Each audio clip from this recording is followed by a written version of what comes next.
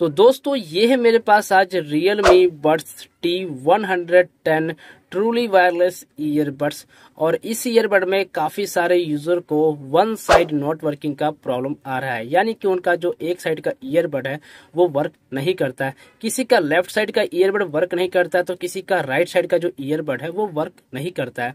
तो आज की इस वीडियो में मैं आप सबको Realme buds T one hundred ten earbuds के वन साइड नॉट वर्किंग का जो प्रॉब्लम है, उसका सॉल्यूशन बताने वाला हूँ। तो इसके लिए आपको करना है क्या? सिंपल सबसे पहले आपको अपने दोनों ईयरबड्स को इसके चार्जिंग केस में से बाहर निकाल लेना है। तो यहाँ पे हम इन दोनों ईयरबड्स को इसके चार्जिंग केस में से बाहर निकाल लेते हैं। तो दोनों ईयरबड्स को इसके चार्जिंग केस में से बाहर निकालने के बाद अब आपको करना है क्या? सिंपल यहाँ पे दोनों ही ईयरबड्स में टच कंट्रोल मिल जाते हैं। एंड इस ईयरबड में आपको किसी भी तरह का एलईडी लाइट इंडिकेशन देखने को नहीं मिलता है। तो हमने करना क्या है? सिंपल यहाँ पे दोनों ही ईयरबड्स के टच कंट्रोल के ऊपर हमने टच एंड होल्ड करके रखेंगे 10 सेकंड के लिए। तो यहाँ पे हमारा जो दोनों ही ईयरबड्स है, इसमें से आप सबको बीप साउंड सुनाई देगा। तो उसके बाद आपको करना क्या सिंपल इन दोनों ईयरबड्स को इसके चार्जिंग केस में रख देना है। तो ये चीज़ मैं आप सबके सामने लाइव करने जा रहा हूँ तो प्लीज़ आप सब वीडियो पर बने रहे वीडियो को पूरा ध्यान से देखते रहना है। तो यहाँ पे हम करेंगे क्या सिंपल दोनों ही ईयरबड्स के ऊपर हम टच एंड होल्ड करके रख लेते हैं दस सेकेंड के लिए। तो जैसे यहाँ पे दस सेकेंड कंप्लीट हो जाएगा, हमने अपना हाथ यहाँ से हटा देना है। तो यहाँ पे हमें कुछ सेकंड और वेट करना होगा। तो जैसे हमारा 10 सेकंड कंप्लीट हो जाएगा तो हमने अपना हाथ यहाँ से हटा देना है। तो यहाँ पे हमारा 10 सेकंड कंप्लीट हो चुका है। अब हम इस दोनों ईयरबड्स को वापस इसके चार्जिंग केस में रख देंगे।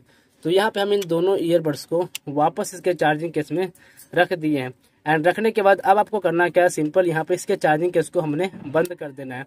बंद करने के बाद अब आपको करना क्या सिंपल एक से दो सेकंड का वेट करना है और उसके बाद हम इस चार्जिंग केस को ओपन कर देंगे। तो जैसे हम इसके चार्जिंग केस को ओपन करेंगे, ठीक वैसे हमारा Realme buds T one hundred ten earbuds one side not working problem को सॉल्व हो जाएगा। और अब आपका जो ईयरबड है, वो ऑटोमेटिक ऑन होकर पेयरिंग मोड पे आ चुका है। अब आप इसे अपने किसी भी मोबाइल डिवाइस के साथ इजीली कनेक्ट करके चेक कर पाओगे। इसमें जो भी वन साइड नॉट वर्किंग का जो प्रॉब्लम था, वो सॉल्व हो चुका होगा।